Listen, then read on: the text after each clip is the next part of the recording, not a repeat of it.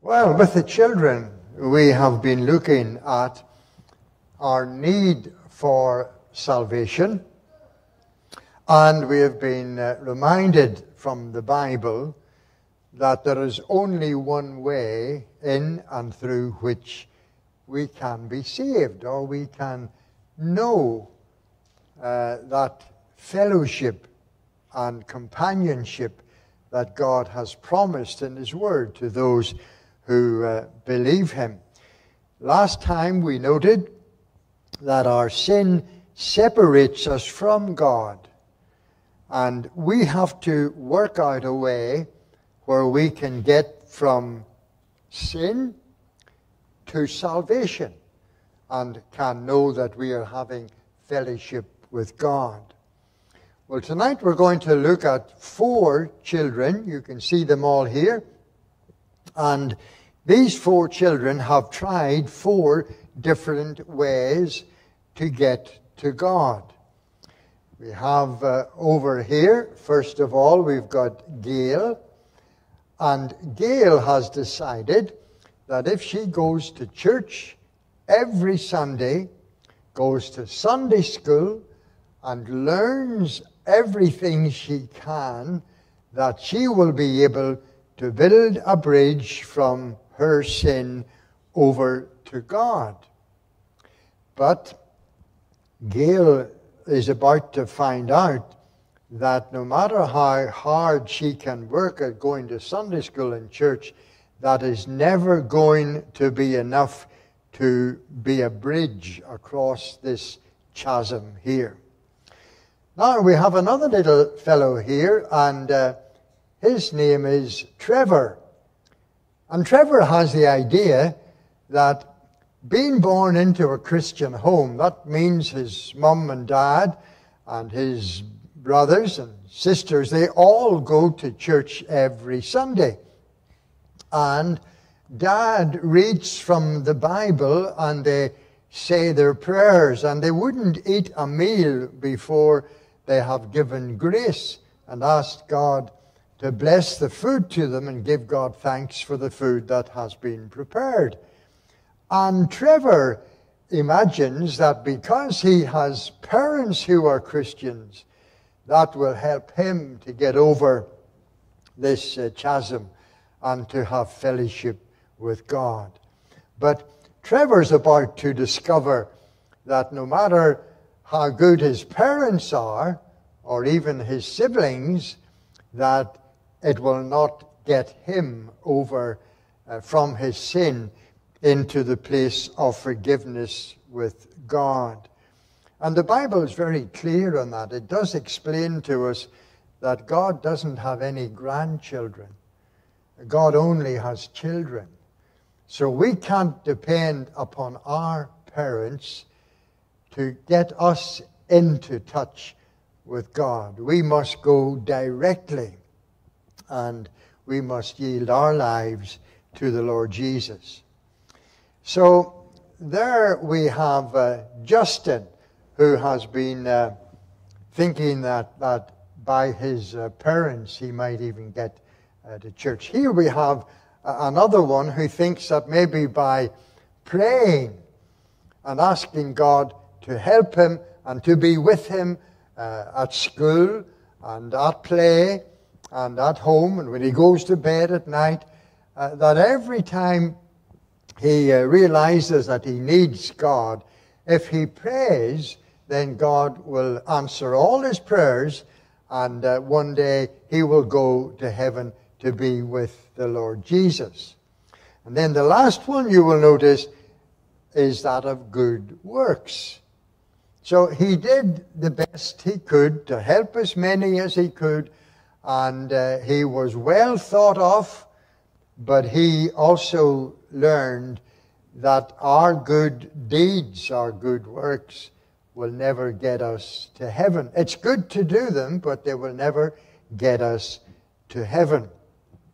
And the reason why these things will not bridge the gulf or the gap and will not get us to heaven are all centered on one thing. And that is going back to what we learned last Sunday night that there is only one way of salvation. The Lord Jesus said, I am the way, the truth, and the life. No man comes unto the Father, that is, no one can cross over this great gulf or gap except through me. So Jesus is the only way to heaven.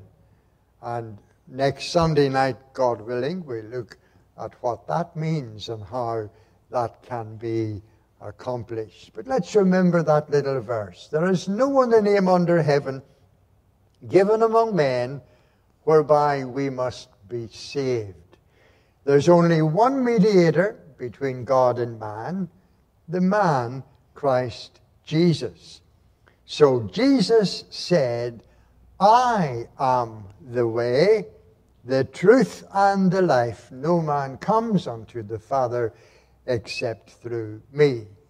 No man, no woman, no boy, no girl will get to heaven apart from having faith in the Lord Jesus. Amen. We're going to read a few verses now from Hebrews chapter 6. Hebrews chapter 6, and uh, we'll read the first nine verses.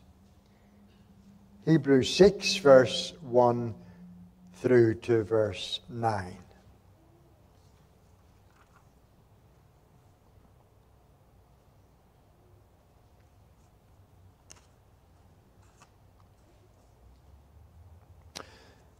Therefore, leaving the discussion of the elementary principles of Christ, let us go on to perfection, not laying again the foundation of repentance from dead works and of faith toward God, of the doctrine of baptisms, of laying on of hands, of resurrection of the dead, and of eternal judgment.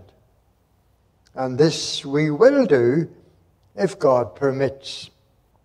For it is impossible for those who were once enlightened and have tasted the heavenly gift and have become partakers of the Holy Spirit and have tasted the good word of God and the powers of the age to come, if they fall away to renew them again to repentance, since they crucify again for themselves the Son of God and put him to an open shame. For the earth which drinks in the rain that often comes upon it, and bears herbs useful for those by whom it is cultivated, receives blessing from God.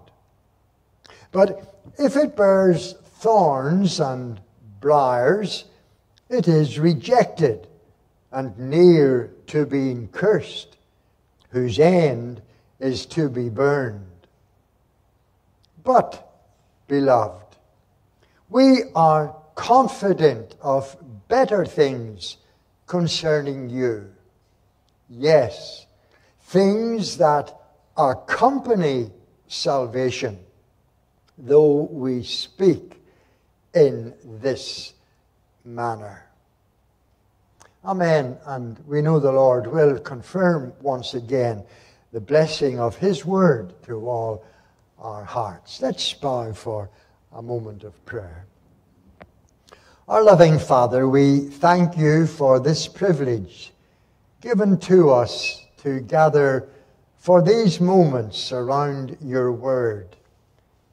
We recognize that you are with us, having promised where two or three are gathered together in my name, there am I in the midst. We know that we do not need to search the heavens to bring you down, nor plumb the depths to bring you up, for you are here. You have promised never to leave us, nor to forsake us. We know that in particular, as we read the scriptures, you are very present, for you have given us the Holy Spirit to be our teacher, recognizing that the natural mind cannot understand the things of God. They must be spiritually discerned. We lay our hope once again this evening upon the fulfillment of your promise as we are led, guided into truth. We pray that if there is any confusion in our minds, it will be relieved tonight. If there are those who would think that their salvation is dependent upon their actions or even their faith, we pray that you will expose the error of their thinking. If there are those who perhaps are feeling rather vulnerable in their faith, and they have doubts and fears. We pray that you will strengthen them and enable them to lay hold upon your word and rest in your promise and take confidence that their salvation is secure in the Lord Jesus. And so we pray that you will encourage our hearts tonight. And as your blessing rests upon us gathered here. Be with those who share in the live stream or in the other broadcasts. And may the Word of God go forth freely, and may your name be glorified. Bless those with particular burdens tonight, those who are passing through difficult times. Grant that they will know the God of all comfort coming to their aid in grace and mercy and love and power. We pray in the Lord Jesus. Amen. Amen. We um, are not a church that seeks for controversy, but we are a church that will not falter when it comes to teaching and to preaching the good news of the gospel.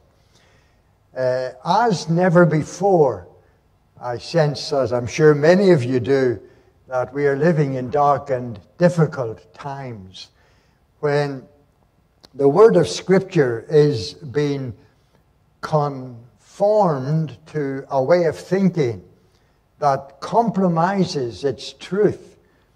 And so many are confused as to uh, what the Bible actually teaches. It is always our endeavor to ensure that as we preach, it is not the words of man's wisdom, but rather the display of the passion of the very heart of Christ. It is in power, as the Apostle Paul declared when he went to address the believers in Corinth. Now, that will mean, of course, that we will not uh, evade or avoid delicate or even difficult portions of Scripture. As we systematically engage in the study of God's Word, it means that we have to be disciplined. And as we come to each uh, passage, to each verse, and to each subject, we are compelled to deal with it in the context of its setting. The passage that we are about to explore uh, tonight, and it will only be an introductory comment, is one of those passages of Scripture that confront us and compel us to a more thorough investigation. As on the surface, it would almost appear as though it is a contradiction of other scriptures. Yet, as we study the Bible, as we engage in an understanding of its truth, one of the first rules of interpretation that are laid upon us by way of discipline is the fact that the Bible does not contradict itself. Now, you say that's difficult to understand given that we have so many interpretations of so many passages of Scripture. And yet, the Bible warns us that the Bible has not been given to us as a means of private interpretation. Uh, it simply means that we dare not, we cannot isolate Scripture in order to suit our own preference, nor can we avoid Scripture just because it is difficult to insert into the overall teaching of the Word. If there is a dilemma of understanding, it is not with the revelation of Scripture, but rather it is with our interpretation of it. And so tonight we're going to address the theme no doubt in or out. No doubt in or out. In other words, when we have taken that step of faith and the Holy Spirit conveys to our heart the true message of the gospel. And we are compelled to confess that we are sinners without hope and without God in the world.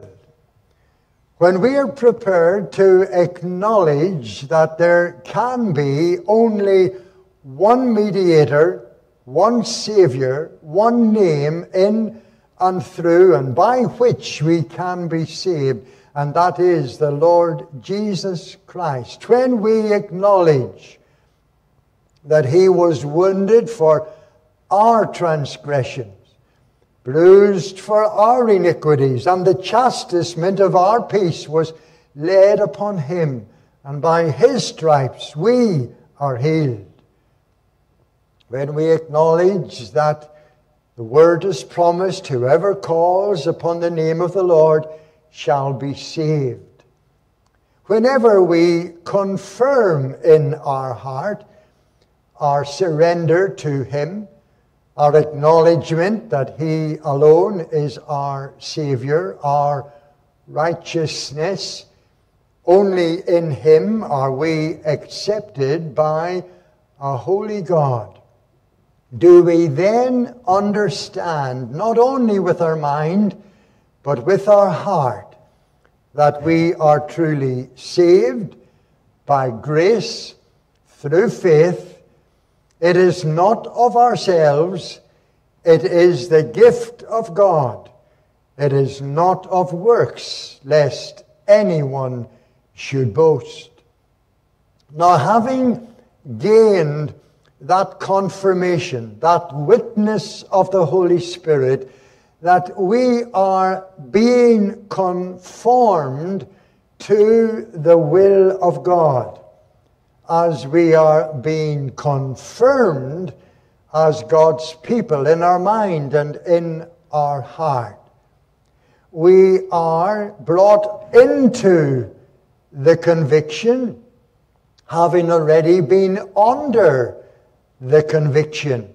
We are now brought into the conviction that we are the people of God. God has not given us the spirit of bondage again to fear, but the spirit of adoption, whereby we cry, Abba, Father. And that word Abba is an Aramaic word, and it is the most tender word that can be found in the biblical language to confer and confirm the relationship, the dear, the precious, the loving relationship of a child and his or her father. This conviction is given to those who have surrendered their life to Jesus. We know that we are the children of God. The Bible tells us so. The Spirit reminds us of the promises that God has made. And the outward expression of our lives confirm that we are followers of Jesus. The Bible tells us that we will be changed. If any man be in Christ, he is a new creation. All things are passed away, all things become new. We cannot serve God and mammon or the world. Either we will love one and despise the other. You cannot serve God and mammon. So the life of the believer confirms by their fruit you shall know them. You say, but the Bible tells us we're not to judge one another, so therefore it's unfair and it's unrighteous for us to look at another and determine in our mind or heart that they cannot be a child of God, or perhaps their faith is limited and uh, they waver in their walk with God simply because they have not fully surrendered or committed their lives to God. There are things, no doubt, that hinder us. In fact, we're warned to put aside every weight and the things that so easily beset us. And the word beset there means trip us up. And we are to put aside those hindrances in our heart and in our life, lest we fall into the snare or the trap that has been laid for us. As uh, we move into these verses in Hebrews chapter 6, we at the very outset need to realize that here is our response not only to the teaching of Scripture, but also to the times in which this portion of the Bible has been written. We need to take into consideration those to whom it is written. And the application of this passage must be seen in the light of the whole, not simply in light of the few verses that deal with what appears to be a very controversial uh, portion uh, of the scriptures. We must uh, begin, as I've indicated, with our study on the basis and on the premise that the Bible will not uh, contradict itself. The Bible works in total harmony and just as in the Gospels we have Matthew, Mark, Luke, and John describing various scenes and situations and declare the ministry of Jesus uh, with a, a different slant and from a different position and with a different understanding. So we need to be able to grasp what each passage of the Bible is confirming. And as we bring it into the harmony of Scripture, we very soon discover that the Bible is one book that gives one message. The Bible is a book of history, but it's also a book of His story. And as we look through these references, we keep in mind the fact that what the Bible teaches in other places cannot be threatened by our understanding, limited though it may be, of any given passage of Scripture. And so we approach this theme, this subject, and this vital teaching on that basis. Now, in these verses, 4 through to verse 8 in particular, we have one of the set warnings that come to us in this book. If the Lord spares us, keeps us well, healthy, strong, so we can keep coming to church like this, and if He tarries His coming, and we have time to expand our thought on this book of the Bible, we will discover that there are four passages within the book of Hebrews that are classified as warnings. So when we view these verses, that is how we must approach them. This is a warning. Now, we do, of course, need to discover who the warning is for. What is the intention of the writer? Who is he writing to? And what is the purpose of his writing? And what is the outcome desired to be? Well, it doesn't take long before we discover that this is a, a warning that comes on the back of an already stated revelation that begins at the middle part of chapter 5.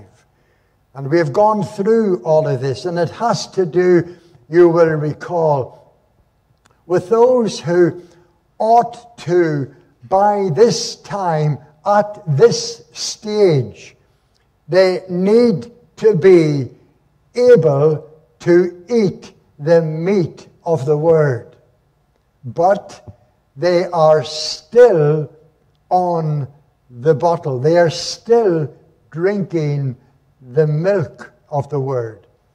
They cannot digest the deeper things of God.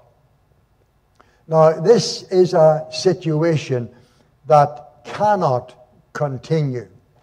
For lack of proper nourishment, will lead to a deficiency in the diet that will ultimately create medical problems, among which will be deformities and other such weaknesses that expose the body to disease and to death. There is nothing so tragic as witnessing an unhealthy church. Now, if you want to see what a, an unhealthy church is like, just reread the first book of Corinthians. And as you read through Corinthians, you'll learn what it is like to be a weak, malnourished church. Now, this is the contention that the writer to the Hebrews is addressing. He cannot let this situation go any further. The first chapters of the book have been concentrating and focusing on what we discover as we go through the book has been the problem all along. They have been devoutly religious. And now that they are exposed to a life of faith, they're not quite ready to embrace it. The reason being, they're not quite sure if their faith can overcome their conscience. A conscience that has been nurtured under the law. That's why you'll find in the first chapters of Hebrews the comparison between the teachings of Judaism and the presentation of the gospel that centers in the Lord Jesus. It's a little bit like someone from an Orthodox faith who embraces Christianity and it becomes something that they've been drawn to, attracted to, and their heart compels them to believe in the Lord Jesus. But they still need to pray to Mary. They still need to confess their sin to a priest. They still need to partake of the Eucharist, fearing that if they refuse or if they do not, that they are not receiving grace in the sacrament that brings them salvation, so that their religion becomes a synchronism between their traditional views and their newfound faith. And holding on to their religion, they are forfeiting the need to grow and to become more dependent upon the things of God. Now, as we go through the book of Hebrews, these warnings will become more clearly identified and seen because we will be moving from the outward connections with the priesthood. So far, we have looked at Christ being superior over angels, superior over the high priests, and so on. But as we move further into Hebrews, we will begin to see how Jesus is presented as being greater than the very things that lie at the heart of the Judaistic beliefs, and that is the sacrifice, the altar of worship, where animals are sacrificed, blood is shed, and uh, the foretelling of the coming of Messiah is clearly defined. But at this point, we haven't quite got to the heart of the message of the gospel. For the lamb upon the Old Testament altar was meant to be a type, a symbol, a ritual to indicate that another would come and you remember how John the Baptist introduced Jesus to the early disciples and the crowd who had gathered uh, for baptism. Remember, John the Baptist declared, Behold, the Lamb of God who takes away the sin of the world. A statement that we relish and understand perfectly today, but to the Jew of Jesus' day, salvation was of the Jews. The Gentiles had no part in it. And therefore, to be told that Jesus would take away the sin of the world that is, Jew and Gentile, was an alien feature of this new faith, this new teaching, this new religion. Hence, the antagonism, the anger, the frustration that slowly built until at last they are crying out, Take him away, crucify him. We will not have this man to rule over us. So now the writer to the Hebrews is uh, compelling us to commit to this understanding. If we are a child of God, genuinely born again of the Spirit of God, two things will happen. The two marks of a believer. One, we will know it because we will feel it. It's not an outward conformity to a platform or program of worship. It is in reality the confession of a relationship where we have submitted our hearts and lives to Jesus. So the first sign, if we are truly the children of God, then we will feel it. The second sign, if we are truly the children of God, the world will see it. The world will see it. You cannot be a Christian. You cannot be a child of God and not be seen to be different. The issue is if we are changed, we are different. If we are different, we will be seen to be different. How many of our work colleagues know that we are the people of God? When we go to school or to college or university, how many of our fellow students really know that we are Christians? Do they have to be told? Do we have to do something to show or to indicate that we are Christians?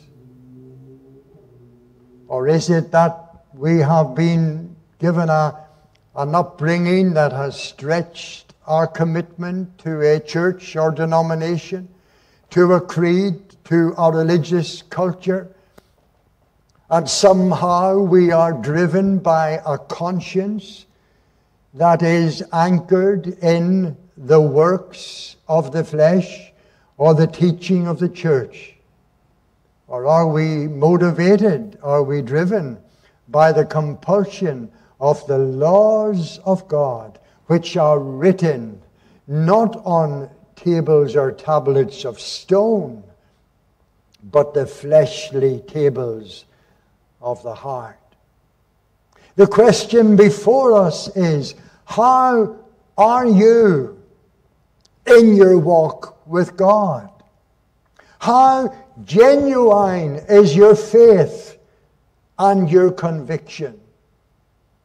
For now, the writer is about to lay upon us this challenge.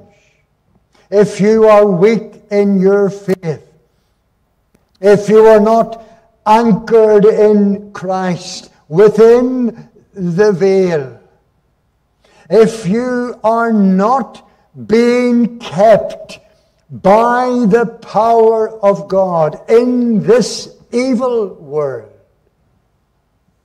if you are not feeding, feasting upon the meat of the Word, the truths of Scripture, if you are not being built up in your faith grounded and settled. If you are not becoming more and more conformed to the likeness or the image of Christ, could it be that the seed that has fallen upon your heart has not gone any deeper than the roots of the briar? or the weed that are not only entitled to, but determined to kill the seed that has been sown. There are many who have made a profession of faith, but they know nothing about the possession of Christ. You can be a professor without being a possessor. And at the end of the day, it's not what we claim to be. It's not what we testify to be. It's what we are that matters. Now let's read how this uh, warning begins. This we will do if God permits. For it is impossible for those who were once enlightened. So, what is it that we are questioning about the will of God? This we will do if God permits. What will we do? Well, in the context of the passage, it's a move towards growth and maturity. This we will do if God permits. Now, isn't that an interesting way to introduce this warning? Could we not simply say, well, surely God would permit anyone who wants to grow to grow? Does that not go without saying? Would it not be wrong of us to say that God doesn't want everybody to really grow strong and mature, even though they're a believer? He wants to have some weak believers scattered in amongst the strong ones, so that the weak ones can learn to lean on the strong ones, and the strong ones can l- learn how to lift up the feeble knees of those that are weak. Would that not be a fair assumption? Well, it probably would if we didn't read our Bibles too often. But you will never find any reference in Scripture to the will of God desiring that any believer be limited in their knowledge of Him or in their service for Him or, in the expanding of their relationship with Him. Not one. The entire Scripture is built around this concept of learning more and more how to walk closer and closer with God and how to avoid the pitfalls of mediocrity that would apply an apathy to our minds that would prevent us from wanting to grow as the people of God. Now we know that there are so many things that happen to us in our lives that make it difficult for us to go to the places and the things that we should be going to, like prayer meetings and Bible studies and church and, and fellowship uh, evenings and so on. Um, and we can't be at everything. But the point is, that God, in His will and purpose for His people, has set out for us everything that we need in terms of life and godliness. Peter stresses this. God has given us everything that uh, we need to help us live and to be godly. In fact, and again, Peter tells us that He has given us great and precious promises by which we have been made partakers of the very nature of Christ. You see, if we are not growing in our Christian lives, it is not because God wills it to be that way. It is rather because we are not taking advantage of every benefit and every blessing that God has set out for us carefully in His Word. And if we're not growing, then we are simply fading away. Now, this is the concern of the writer here. And let's. Uh, Let's read from verse 4 through to verse 8 once again. For it is impossible. Note the word for. So here is the continuation. Here is the explanation. Here is the illustration. So now, verse 4 through to verse 8 becomes the application, if you like, of that third verse. God wants us to grow.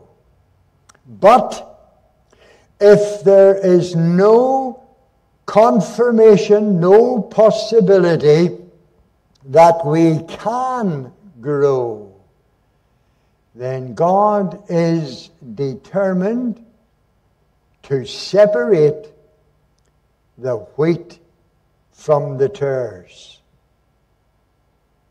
That is exactly the position that is being related to us here. Now, note, this is very much a hands off kind of warning. It's not up to you or me to look around and say, Well, I don't think that person's really saved. Or I don't think that that person has really got the truth.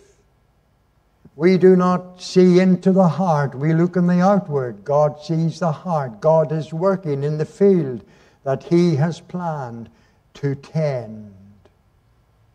But here is the reality it is impossible for those who were once enlightened and have tasted the heavenly gift and have become partakers of the Holy Spirit and have tasted the good word of God and the powers of the age to come, if they fall away,